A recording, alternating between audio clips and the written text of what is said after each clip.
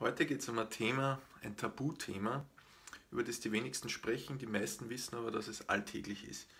Und zwar geht es um das Thema Doping, nicht nur im Profisport, sondern auch im Breitensport. Sprich nicht nur dort, wo das Geld damit verdient wird, sondern auch im Privatbereich, wo es eigentlich um ganz andere Dinge geht. Mein Name ist Christian Rohrhofer, herzlich willkommen zu einer neuen Folge von Rock TV. Und wir kümmern uns heute um ein Thema, das äh, ich eigentlich sehr lange nicht am Schirm hatte. Bert und Norbert sind schon mit dabei, freut mich, Servus. Das Thema Doping ist für mich, äh, war nie ein Thema. Ich habe früher, als ich mit dem Bodybuilding begann, natürlich äh, kommt man irgendwo mit dem in Kontakt, aber es war für mich nie ein Thema, dass ich sage, äh, das muss ich selbst machen. Ich hatte nie Wettkampfambitionen im Sinne von Bühnen, Bodybuilding oder ähnliches. Von daher bin ich da wieder relativ schnell weggekommen. Servus, Alex ist auch mit dabei, freut mich. Und ja, und darum hat es mich gefreut, dass ich vor einiger Zeit äh, die Frage bekommen habe, Chris, was ist eigentlich deine Meinung zum Thema Doping? Was steht denn da dahinter? Und das habe ich zum Anlass genommen, dass ich heute mal das Ganze da ein bisschen näher beleuchte. Ähm, das extrem Spannende ist einfach beim Doping, ähm, die meisten Leute wissen es, wir bekommen das regelmäßig in den News mitgeteilt. Beispielsweise, ich habe diesen Kollegen da mitgebracht, der Lance Armstrong, der ja, ich glaube, 20 Mal geleugnet hat, dass er irgendwelche leistungssteigernden Substanzen verwendet und dann bei der berühmt-berüchtigten Show bei der Oprah Winfrey hat er dann in Tränen zugegeben, dass er dann doch, ähm, dass er dann doch äh, leistungssteigernde Substanzen über die ganzen letzten Jahre genommen hat und das Ganze riesig organisiert ist. Dominik ist auch mit dabei. Servus, freut mich. Ähm, ja, und das ist eines der, der großen Beispiele, was im Doping alles falsch läuft. Und der, der gute Herr hat, glaube ich, sieben, äh, sieben Mal die Tour de France gewonnen. Ein extrem glorreiches und extrem großes Event, wo sehr viel finanzielle Mittel dahinter stehen und dementsprechend auch lukrativ war. Ja. Das ist ein Punkt, zu dem wir dann noch zu sprechen kommen. Ja, und ich habe da auch ein paar Wettkampfathleten mit dabei. Der Bert beispielsweise fährt ja Mountainbike-Rennen. Da würde mich dann auch deine persönliche Erfahrung interessieren. Nicht, ob du dobst, sondern ich spreche dann nachher noch das, die Mülleimerkontrolle an. Und da musst man du dann sagen, ob du auch schon so Erfahrung hast. Und für alle, die schon Wettkampferfahrung haben, würde ich mich über Inputs freuen. Da kann man mal sehen, wie weit es auch im Breitensport sozusagen verbreitet ist. So, und für alle, die bei Rock TV schon mal mit dabei waren, die wissen, bevor wir über irgendwas sprechen, müssen wir das Ganze mal definieren. Das heißt, wir schauen uns jetzt mal an, was ist Doping überhaupt? Doping bedeutet, ähm, dass bei, einem, bei der Probe eines Athleten illegale Substanzen nachgewiesen werden oder deren Metaboliten. Metaboliten sind im Prinzip Stoffwechselabbauprodukte, die, wenn ich irgendeine verbotene Substanz nehme, die wird verstoffwechselt, dann entstehen Metaboliten, die kann ich nachweisen also die Substanz selbst, die Metaboliten. Oder das dritte ist im Prinzip, äh, dass ich Marker, diverse Marker im Blut feststellen kann. Und wenn eine dieser drei Punkte zutrifft, dann kann ich dem Doping überführt werden. Aber es zählen nicht nur Substanzen selbst, das heißt, dass ich mir irgendwas spritze, irgendeine Tablette esse oder sonstiges, sondern es zählen auch die Methoden. Und da kommen wir jetzt zu diesem Kollegen da. Der Kollege hat nicht nur was genommen, sondern er hat auch das Thema Blutdoping mit ins Spiel gebracht. Das heißt, Methoden wie Gendoping, Blutdoping, das sind Dinge, die sehr wohl auch verboten sind. Und damit man jetzt weiß, naja, was verboten ist oder was nicht, habe ich da heute mal die ganz aktuelle Verbotsliste, Verbotsliste 2018 der NADA, die National Anti-Doping Association, mitgebracht. Äh, die NADA ist im Prinzip unterstellt der WADA. Die WADA ist die World Anti-Doping Association und die kümmern sich darum, dass sie im Prinzip in vielen, vielen Seiten genau reinschreiben, welche Substanzen sind verboten, beziehungsweise welche Substanzen stehen auf der Dopingliste, welche Metaboliten, welche Blutmarker etc. und vor allem auch welche Methoden sind verboten. Und dementsprechend, wenn irgendein Athlet auf solche ähm, Substanzen getestet wird, dann ist er dem Doping überführt. Und das Lustige ist, ich habe recherchiert, wo kommt das Wort Doping her. Äh, da bin ich drauf gestoßen, Doping kommt von dem Wort Dop. Und Dop ist irgend so ein, ein, ein berauschender Schnaps, den man bei rituellen Handlungen verwendet hat. Und ja, und das Berauschende stimmt im Prinzip. Früher beispielsweise, das gibt es ja sogar schon in der Antike, wurde äh, gedopt. Da hat man damals mit Fliegenpilzen, mit Stierhoden und sonstigen Dingen, die man da gefuttert hat, hat man versucht, bei den Gladiatorenkämpfen damals schon die Leute zu dopen, damit man einfach noch mehr Leistung rausbringt. Weil selbst bei den Gladiatorenwettkämpfen früher war schon sehr viel Geld im Spiel. Und das ist auch ein Grund, den ich ganz zum Schluss heute hinterfragen wäre. Und da wär, würde mich auch eure Meinung interessieren. Doping ist es gut oder schlecht? Sollte man das legalisieren? Äh, oder sollte man dieses Versteckspiel, wie es aktuell ist, einfach weiterführen? Extrem spannendes und kontroverses Thema, da würden mich auch eure Meinungen interessieren. Und die Irene ist auch mit dabei, freut mich. Du hast ja auch, bist auch bei vielen CrossFit-Wettkämpfen unterwegs, würde mich interessieren, ähm, ob du da auch was mitbekommst. Stichwort Mülleimerkontrolle, komme ich dann gleich noch dazu. So, das heißt, wir wissen jetzt, was Doping ist. Wenn man die Gründe hinterfragt, warum man dopt, warum man als Sport Doppler macht und ähm, so, versorgen. Im Prinzip geht es darum, ähm, warum man das Doping macht. Sorry, jetzt habe ich den Faden wieder, den roten. Ähm, dass man ähm, die psychologische sozusagen. Ich habe den Ruhm, ich habe die Ehre und das Geld. Jetzt habe ich wieder den Faden, sorry. Es gibt im Prinzip drei Gründe, die psychologischen Gründe, beziehungsweise die Gründe, die uns bewegen, dass man das Doping in irgendeiner Art und Weise verwendet, beziehungsweise dass Menschen es verwenden, wie es zum Beispiel der Kollege da war. Und ähm, das eine ist eben das große Geld. Da kommen wir auch zu dem Thema dann die Olympischen Spiele, sprich die Themen, die da dahinter stehen, dass einfach eine riesengroße Maschinerie dahinter steht, wo einfach die Athleten unter Druck kommen, wo es dann heißt, okay, du kannst dopen, dann bist du im Topsport mit dabei, oder du kannst im Prinzip ähm, nicht dopen, dann kannst du nicht vorne mitspielen. So, der Bert schreibt dann, ich finde es schon peinlich, wenn ich Proteinpulver nehme und nicht weiß, wie ich normales erklären soll, dass das mit Doping nichts zu tun hat. Ähm, habe ich jetzt irgendwas gesagt, dass Proteinpulver mit Doping was zu tun hat? Wenn ja, dann tut es mir leid. Ähm, aber vielleicht schreibst du mir auch rein, Bert, wie du das gemeint hast. Proteinpulver hat nichts mit Doping zu tun, sondern Doping hat, ist das, was im Prinzip auf dieser Verbotsliste steht. Das sind zum Beispiel Anabole Steroide, das sind einfach verbotene Substanzen, Medikamente, die man einnimmt. Und das ist dann im Prinzip, wenn ich das mache und mir das nachgewiesen wurde, dann kann man mich dem Doping überführen. Verzeihung. Ja, und Bert, warum du das jetzt irgendwie anders verstanden hast, schreib mir das kurz rein, dann kann ich das gerne noch einmal erläutern. Das heißt, zusammengefasst, Proteinpulver hat nichts mit Doping zu tun. so, dann starten wir los. Profisport ich habe relativ lange recherchiert und einmal geschaut, wo ist das Thema Doping im Profi Profisport überall vorgekommen. Und ich habe konkret drei Beispiele mitgenommen, die für mich dafür stehen, ähm, wie weit dieses Thema Medikamente, Medikamentenmissbrauch im Sport verbreitet ist.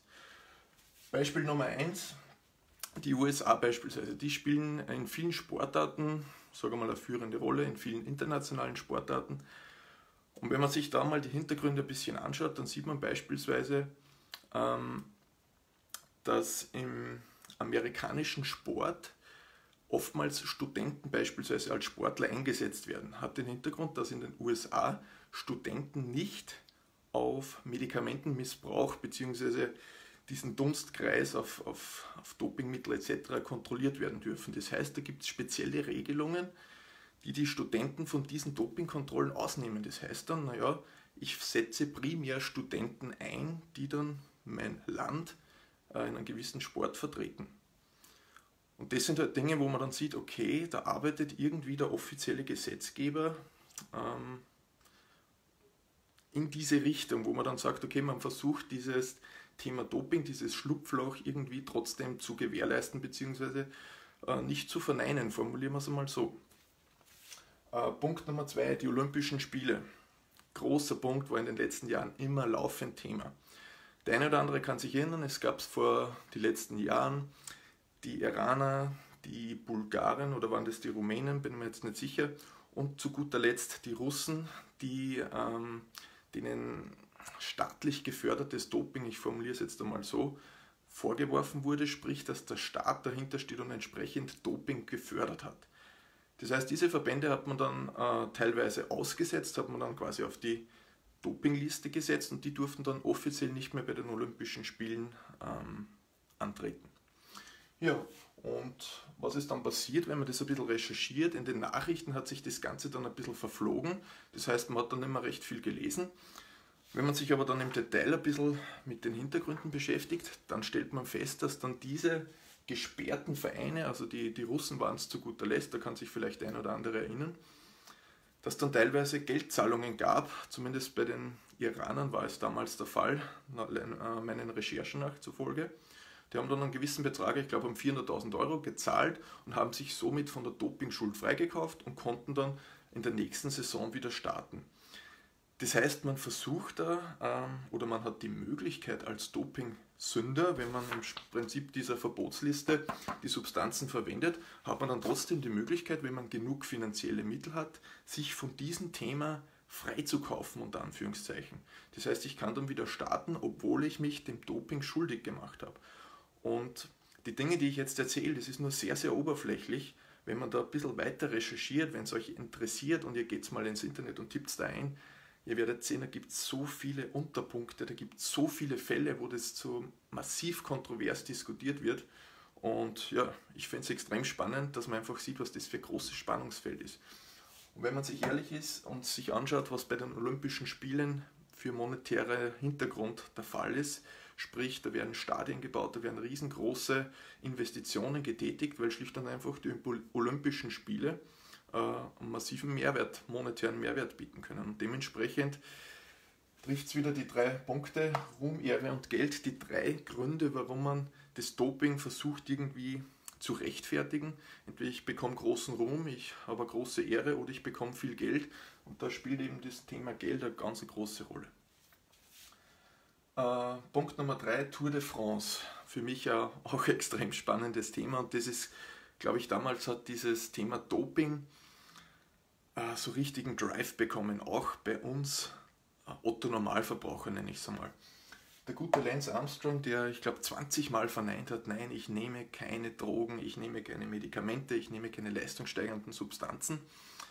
Äh, und der dann eben, ich glaube 2014 war es, oder ja, irgend so um den Dreh, und dann doch zugegeben hat, okay, ich habe diese Substanzen genommen. Und dann wurden sukzessive immer mehr Informationen bekannt. Da gibt es richtig coole Dokumentationen, wenn man sich einfach mal anschauen möchte, wie extrem vernetzt dieses ganze System hinter dem Lance Armstrong war. Und im Prinzip ist dann rausgekommen, dass der Großteil des amerikanischen National- oder diesen Nationalteams oder diesen ich weiß nicht, ob es Nationalteam war, aber das Team rund um den Lance Armstrong im Prinzip genau mit diesen leistungssteigernden Substanzen gearbeitet hat und dass da bewusst Kontrollmechanismen Mechanismen, äh, aus dem Weg bzw. ausgeschaltet wurden und dementsprechend äh, sieht man, wie tief verwurzelt es ist. Und das Beispiel von den Russen, sprich bei den Olympischen Spielen der Gewichtheber, sieht man auch, das geht bis zum Start hinauf, wo im Prinzip das finanziell unterstützt wird. Das heißt, es ist nicht nur ein kleines Team, das irgendwas Schlimmes macht oder was Verbotenes macht, sondern es geht teilweise wirklich bis zum Start hoch hinauf. Und das ist das, was mich persönlich daran interessiert. Mir geht es jetzt so nicht darum, äh, da irgendwelche Substanzen zu nehmen, sondern einfach dieser Hintergrund ist das, was extrem spannend ist. Und ich sehe ja, wir haben da einige Sportler dabei, die Wettkämpfe machen. Schreibt mal mal rein, was ist eure Meinung zum Thema Doping? Bekommt ihr das mit, auch in den, sage mal, breiten Sportler? Äh, Wettkämpfen, sage mal, wenn ich jetzt nicht über die Top 10 der Weltmeisterschaft spreche, bekommt ihr da was mit auf der Strecke, dass da Medikamente, schmerzstillende Tabletten und so weiter, ich werde dann gleich noch zu den Statistiken kommen, äh, dass diese Art von Medikamenten da eingesetzt werden, selbst im Breitensport.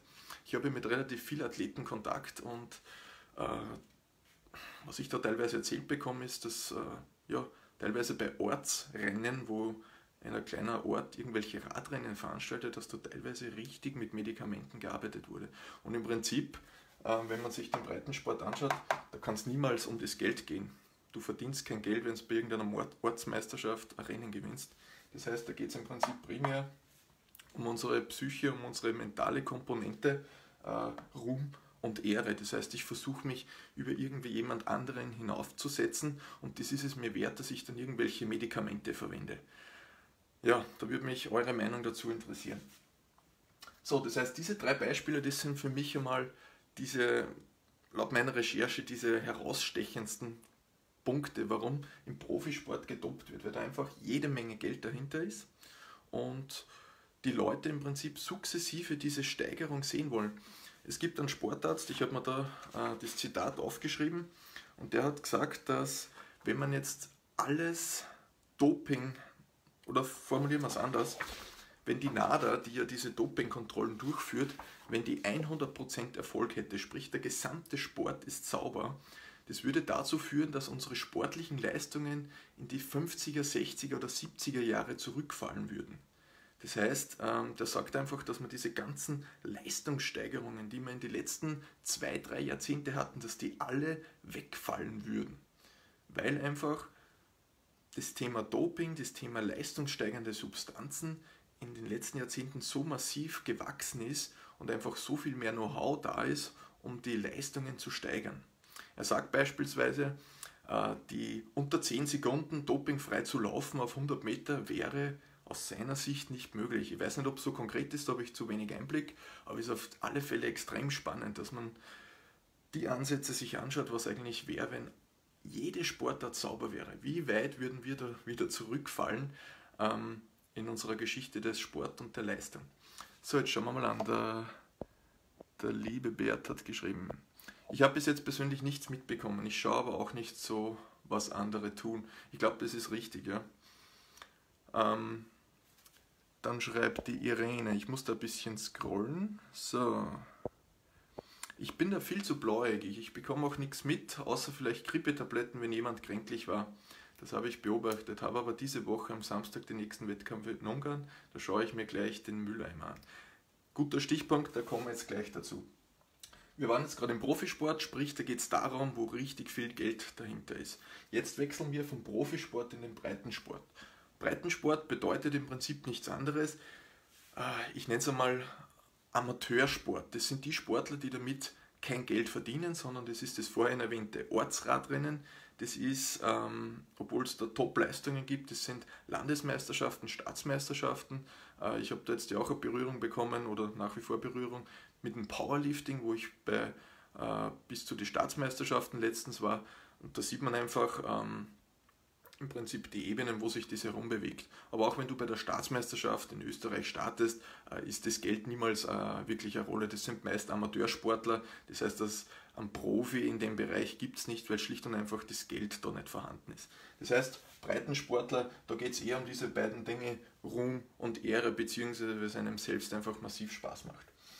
Und ich habe da jetzt eine Statistik mitgenommen, dass man einfach einmal schaut im Breitensport, wie sehr ist denn da das Thema Doping verbreitet. Und da habe ich verschiedene Studien zusammengesucht, beispielsweise Fußball.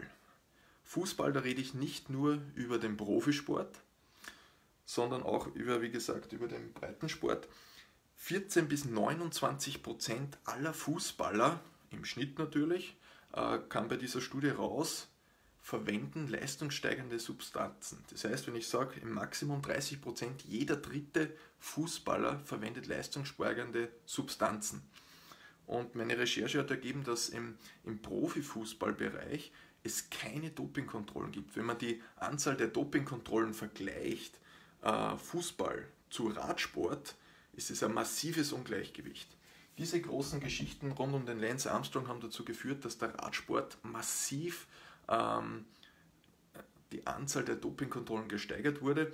Ich habe heute gelesen, ein Fußballer, ein Weltfußballer, Profifußballer hat im, im Prinzip ein Risiko, zu einer Dopingkontrolle zu kommen in etwa von 2%, sprich quasi nichts. Ne?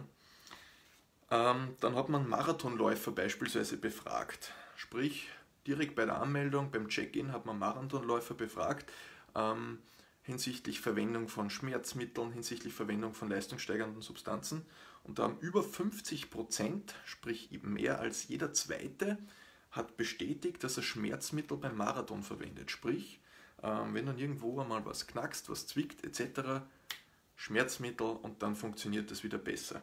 Und über 50 Prozent ist schon, äh, ich sage mal, eine große Hausnummer. Und wenn man jetzt noch einmal offiziell uns die NADA anschaut, kann übrigens jeder nachschlagen, nada.at. Die NADA sagt, dass 22% aller Männer im Breitensport und knapp 10% der Frauen ähm, leistungssteigernde Substanzen verwenden. Das heißt, jeder fünfte Mann verwendet in Österreich leistungssteigernde Substanzen und bei den Frauen sind es 8%, das heißt weniger als die Hälfte. Aber immerhin, trotzdem spannende Sache. Ja, und jetzt zum zweiten Punkt, Mülleimerkontrolle. Ähm, ich habe da mit einigen Athleten von mir gesprochen, ähm, für die ich übrigens mein, meine, meine Händchen da ins Feuer legen will, dass die alle sauber sind. Ähm, aber ich, ich rede trotzdem immer sehr gerne über dieses Thema, weil es einfach spannend ist, wie, wie die Leute reagieren, was da im Hintergrund alles passiert, was man gar nicht sieht. Und da hat mir einer erzählt, wenn du bei einem Rennen, egal ob es ein Marathon ist oder wenn es ein, eine Crossfit-Veranstaltung ist, für dich Irene vielleicht, ähm, wenn du da einfach einmal in der Pause zwischen zwei Sequenzen oder wann auch immer mal in die Mülleimer reinschaust, die im Athletenbereich sind oder rund ums Event stehen, äh, da hat mir derjenige erzählt, dass man da relativ viele Medikamente äh, im Mülleimer drin findet, sprich Schmerzmittel, sonstige Dinge, äh, wo man dann einfach sieht, okay, wenn das zufällig da weggeschmissen wird, dann ist das ja mal ein Indiz dafür, dass diese Substanzen da auch verwendet werden. Und das ist ein, ich habe es jetzt einmal Mülleimerkontrolle genannt, Mülleimer-Experiment, da kann man sich einfach einmal anschauen, ist das auch in dem Fall ein Thema oder bekommt man da vielleicht ein bisschen was mit? ich bin da eher so wie der Bert und, und sage, ich konzentriere mich auf meine eigenen Sachen, was die anderen machen, ist im Prinzip, äh, es bringt nichts, wenn ich mir Gedanken mache, ob die anderen jetzt was verwenden oder nicht. Aber nichtsdestotrotz ist es spannend, damit man einfach auch aufgrund dieser statistischen Zahlen, die ich da gerade genannt habe, einfach einmal merkt, wie, wie sehr das verwurzelt ist und nicht nur im Profisport, sondern eben auch im Breitensport.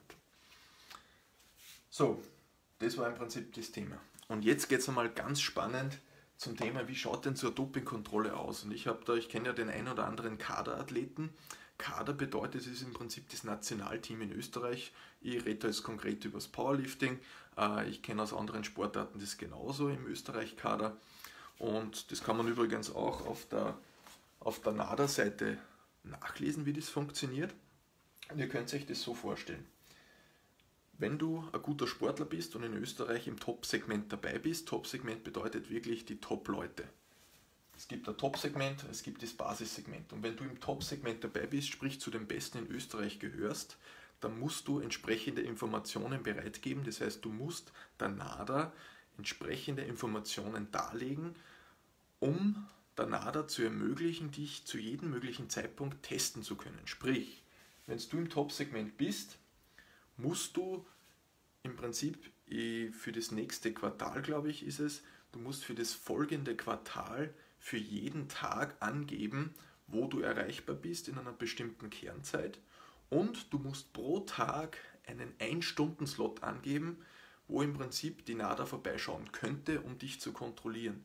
Das heißt, du gibst ganz genau an, wo du dich ein Quartal lange äh, aufbewahrst. Das heißt, du kannst da, glaube ich, mittlerweile geht es sogar mit App, kannst du im Prinzip deine, wenn du mal kurzfristig woanders hinfährst, das geplant, diese Orte ändern, aber du musst im Prinzip als Top-Segment-Athlet da massiv genau dokumentieren, damit die NADA Bescheid weiß, wo du dich unterwegs äh, aufhältst. Und wenn es der Fall der Fälle dann kommt und du zum Beispiel genau in diesen Testing-Slot von 13 bis 14 Uhr gesetzt hast, kann es sein, dass dann die NADA vor der Tür steht und du eine Dopingkontrolle machen musst. Das heißt, da sieht man mal, wie hoch das raufgeht. Ich habe vorher das Beispiel von den USA erwähnt, wo im Prinzip äh, die Ausnahme gilt, dass Studenten nicht äh, unter Dopingkontrollen durchgeführt werden dürfen. Das ist im Prinzip dieses, das eine Extrem. Und wenn man dann das andere Extrem anschaut, wie es in Österreich ist, das Top-Segment ist wirklich dann im Tagesverlauf angeben muss, wo sie sich befinden, beziehungsweise sogar einen 1-Stunden-Testing-Slot pro Tag angeben müssen, wo die NADA vorbeischauen könnte. Das heißt, dieses Ungleichgewicht ist wirklich extrem, aber einfach spannend einmal zu sehen. Und dann gibt es noch das Basissegment, das sind im Prinzip äh, Athleten, wo das Dopingrisiko ein bisschen äh, weniger bzw. geringer ist. Äh, die müssen auch angeben, wo sie sich über den Tag verteilt aufhalten aber eben nicht mit diesem 1-Stunden-Testing-Slot.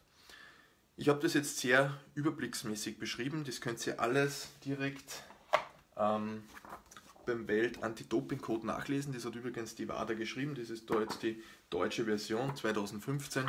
Da kannst du auf, ich glaube in Summe sind es, ich habe da jetzt nicht alles ausgedruckt, 150 Seiten Analyse von Proben, die Verbotsliste, Ergebnismanagement, ähm, Verstöße gegen die Anti-Doping, Doping-Nachweis. Also da steht im Prinzip alles drin. Wenn ihr das wissen wollt, wie das funktioniert, beziehungsweise wenn jemand von euch dann sagt, okay, ich möchte mal in Richtung Österreich-Kader gehen, dann sollte man sich auf alle Fälle diese Dinge anschauen. Meine persönliche Meinung ist, dass das sehr, sehr wichtig ist, weil einfach, äh, und jetzt kommen wir im Prinzip zu dem Punkt, wo ich dann sage, Doping legalisieren, da gibt es ja diese, jetzt sehe ich gerade, der Bert hat noch kommentiert, schauen wir kurz, was er da noch reinschreibt. Es gibt auch virtuelles Doping mittels Computerprogrammen. Werden die gefahrenen Zeiten auf Strava verfälscht, nur damit man weiter oben ist in der Rangliste. Das ist zumindest nicht schädlich für die Gesundheit, aber bringen tut es als auch nichts, wenn man sich selbst belügt. Ja, da gebe ich dir recht.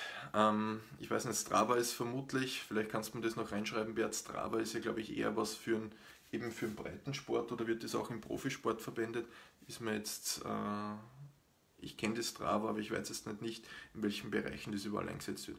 Ja, virtuelles Doping ist auch cool. Ja. Ähm, aber du hast recht, am Ende des Tages belügst du dich selbst. Ne? Um genau zu sein, schreibt der Josef, ähm, genau zu sein, hat Lance Armstrong wirklich nie Dopingkonsum geleugnet.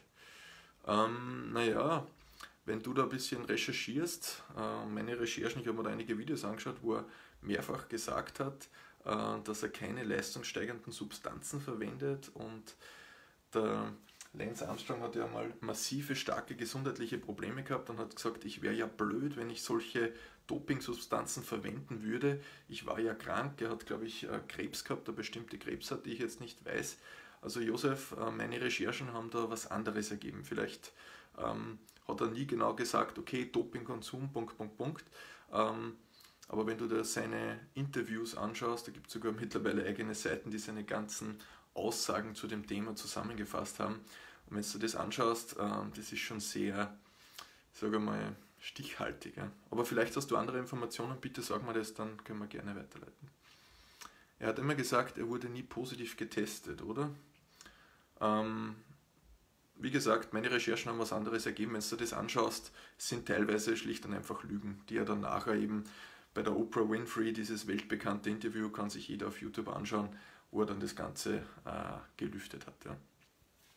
So, jetzt kommen wir zu einem ganz spannenden Thema. Und zwar, und da würde mich jetzt auch eure Meinung interessieren. Ähm, ausgehend von diesen Dopingfällen bei den Olympischen Spielen, sprich die Gewichtheber, das Thema mit den USA oder auch das Thema Tour de France, alles rund um den Lance Armstrong, dann gab es den Jan Ulrich noch etc. Das sind all diese Dopingfälle, die halt auch wirklich in den Medien standen, wo halt dann die Öffentlichkeit diskutiert hat, naja, sollte man vielleicht nicht einfach das Doping legalisieren, dann würde man im Prinzip diese, äh, dieses Geheimverstecken, dieses Geheime hinter den Kulissen, wo im Prinzip jeder weiß, dass es gedopt, dass da gedopt wird, aber niemand gibt es zu, ähm, dass man das vielleicht einfach dann legalisiert. Dann gibt es im Prinzip einen Bereich, wo alle stoffen können, was die, was die Tür zulässt. Oder beziehungsweise nicht oder, sondern und. Es gibt einen zweiten Bereich, wo im Prinzip alles clean abläuft. Meine persönliche Meinung ist, ähm, wenn ich das Dope legalisiere, sprich, da gibt es dann keine Kontrollen mehr, dann ist es am Ende des Tages kein Sportwettkampf mehr und der sportliche Wettkampf hat ja ursprünglich den ureigensten Sinn, dass ich die menschlichen Fähigkeiten zur Schau stelle, beziehungsweise beispielsweise beim 100-Meter-Sprint präsentiere und da verschiedene Leute untereinander antreten, dass ich im Prinzip das Maximum aus meinem Körper raushole. Wenn ich aber jetzt dope, dann gehe ich über diese natürlichen Grenzen meines Körpers hinaus. Das heißt, ähm, ich tune meinen Körper hinsichtlich einer Leistung, die ich sonst normal nie erreichen könnte. Und wenn ich Doping legalisiere, dann würde im Prinzip dieser Krieg der Chemiekeule, ähm, ja, der würde im Prinzip nur mehr im Labor durchgeführt werden. Das heißt, der, der die bessere Apotheke hat, der, der den besseren Arzt hat, der, der das meiste Geld hat, um beispielsweise diese Themen wie Gentoping, Blutdoping äh, zu fördern bzw. weiterzuentwickeln, der wird dann auch die sportlichen Wettkämpfe gewinnen.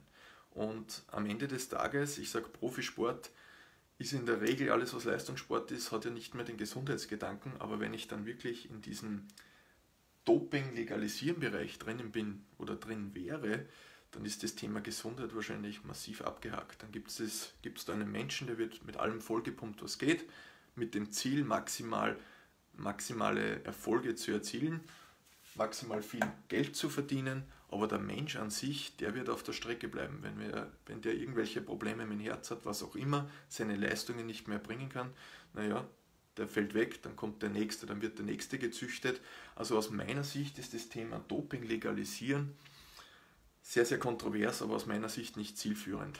Ähm, ich glaube, dass es wichtig ist, dass so wie hier bei einer Dopingkontrolle, wie wir uns jetzt das Beispiel von der NADA angesehen haben, dass das sehr wohl wichtig ist, denn am Ende des Tages wollen wir den Sport irgendwo vergleichbar machen. Man kann jetzt natürlich das Argument reinwerfen und sagen, naja, wenn wir jetzt alle Doping sozusagen vom Markt bekommen würden, dann würden die sportlichen Leistungen stagnieren bzw. wahrscheinlich sogar zurückgehen und dann würden wahrscheinlich nicht mehr so viele Leute zu den Wettkämpfen gehen, somit wird nicht mehr so viel Geld umgesetzt werden. Aber ich sage mal so, das ist ähm, ein Argument, das aus meiner Sicht nicht zielt. Für mich ist einfach der sportliche Gedanke im Vordergrund. Ruhm und Ehre, das ist gut, äh, wenn man versucht, es zu erreichen, wenn man seinen eigenen Ehrgeiz hat, wenn man gegeneinander antreten kann, ist gut aber man sollte am Ende des Tages mit fairen Mitteln sprechen, spielen. Der Bert sagt, wenn es legal ist, dann sterben Spitzensportler mit spätestens 25 Jahren und alles aus Geldgier und so weiter. Ja, ich glaube, Bert, da ticken wir sehr, sehr ähnlich und ja, es ist ein, ein sehr spannendes Thema, wo man diskutieren kann. Vielleicht haben die anderen auch noch eine Meinung dazu. Würde mich interessieren. So, jetzt schaue ich, was ich mir da noch aufgeschrieben habe. Ähm, Genau, das ist ein Punkt. Das, was mich stört, äh, selbst an dem Thema Doping ist, ähm, und das merkt man auch mit diesen drei Beispielen, die ich davor genannt habe, es wird nach außen hin in den Medien immer versucht, alles möglichst sauber und schön darzustellen, beispielsweise bei den Olympischen Spielen. Wenn man aber dann die Hintergründe mitbekommt, beispielsweise mit den Gewichthebervereinen, die gedopt haben und dann eine große Summe an Geld zahlen und somit wieder demnächst wieder starten können, sprich sich freigekauft haben, dann ist das für mich so eine, vorgeheuchelte Sauberkeit, ein vorgeheuchelter, sauberer Sport. Und das ist das, was mich ein bisschen stört, beziehungsweise was einfach die Vergleichbarkeit dann schwierig macht. Weil einfach kleinere Nationen, ich sage mal, wie es wir Österreicher sind, eine Mickey Maus Nation, äh, wo einfach schlicht und einfach das Geld nicht da ist, um so eine, staatlich äh, geförderte Dopingstruktur aufzubauen. Zumindest ist das meine persönliche Meinung ja, bei den USA oder in den USA, bei Russland etc. schaut es wieder anders aus. Und ja, so jetzt schauen wir mal, was der Florian da schreibt. Freut mich, dass du auch mit dabei bist. Das Spannende ist ja auch, schreibt der Florian, dass sich Grenzwerte für bestimmte Parameter, ob es sich um Doping handelt oder nicht, auch verändern. Dass heutige legale Leistungen in 20 Jahren schon unter Doping fallen würden oder umgekehrt. ja, das ist richtig. Beispielsweise hat man jetzt, ähm, wie gesagt, diesen Bericht, den ich da mit habe, da kann man ja auch ganz unten auf der WADA-Seite sich die Änderungen anschauen, sprich, welche Änderungen haben sich über die Jahre hinweg getan. Das sind beispielsweise so Dinge wie Alkohol wurde von der Dopingliste genommen, ähm, dann wurde beispielsweise, äh, ich glaube in den 90er Jahren war das, Koffein von der Dopingliste genommen, sprich, äh, zu viel Kaffee getrunken, Koffeintablette, was auch immer, zu hoher Koffeingehalt im Blut ist automatisch Doping. Das wurde alles wieder retourniert. Sprich, ähm, das, was du ansprichst, ist vollkommen okay. Das wird sich immer ändern. Und dann könnte man jetzt noch weiter diskutieren, wie groß ist denn dieser politische Einfluss, äh, ob diese Parameter jetzt als legal oder nicht legal eingestuft werden. Ähm, ich glaube, da ist einfach das Format jetzt das Falsche. Da kann man wirklich stundenlang diskutieren. Da wäre auch die Auskunft von solchen Leuten, vom Lance Armstrong, der da einfach extrem guten Einblick bekommen hat. Und wie gesagt, schaut euch die Dokus an, von dem gibt es richtig coole Sachen. Und da merkt man mal, wie weit das Ganze verstrickt ist und welche Personen, vermeintlich politische Personen, die oben neutral stehen sollten, da in dem ganzen Thema mit drinnen sind und ja, diese Geldmaschinerie am Laufen halten. Für mich wirklich extrem spannend, einfach zu diskutieren.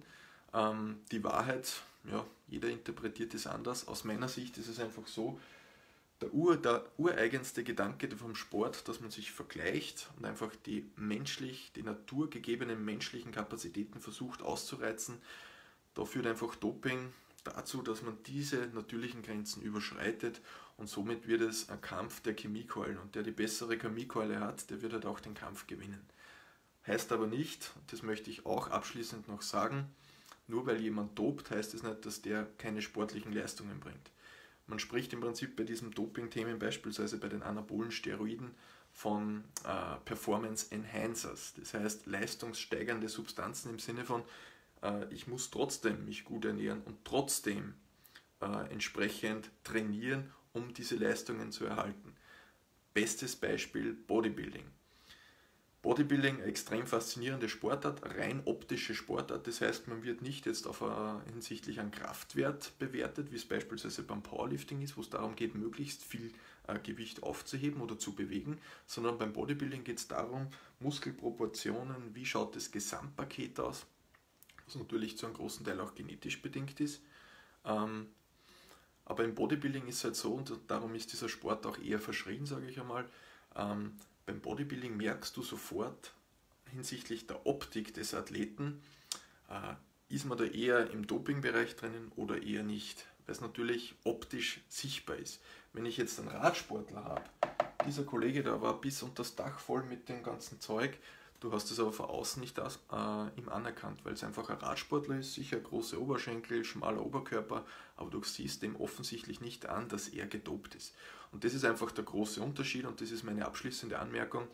Beim Bodybuilding ist es ganz offensichtlich, wenn da einfach jemand mit 135 Kilo Körpergewicht aussieht, ist eine genetische Ausnahme, der mit 135 Kilo Körpergewicht bei 5% Körperfettanteil dasteht, dann ist die Wahrscheinlichkeit sehr hoch, dass dieser Kollege nicht nur gutes Eiweißpulver hat, da sind wir jetzt wieder bei der Diskussion von vorhin, Bert, äh, sondern dass einfach da zusätzlich noch äh, äh, ja, mit der chemischen Keule hingegriffen wird. Das ist die eine Anmerkung. Und die zweite ist noch, ich habe mich dann gefragt, naja, ist dann jemand, der leistungssteigernde Substanzen verwendet, äh, automatischer Verbrecher? Und da bin ich der Meinung, nein, ist er nicht. Ähm, ich habe eine coole äh, in einem Artikel eine coole Feststellung gelesen, der hat im Prinzip gesagt, es ist wie wenn ich äh, ein schweres Foul begehen würde. Wenn ich beim Fußball ein schweres Foul begehe, dann äh, ist das im Prinzip wie das Doping. Das soll das jetzt absolut nicht verharmlosen, aber mir hat diese Aussage irgendwie gut gefallen. Denn was ist, wenn, wenn ich sage, dieser gute Herr da, ähm, der Lance Armstrong, dass der für 20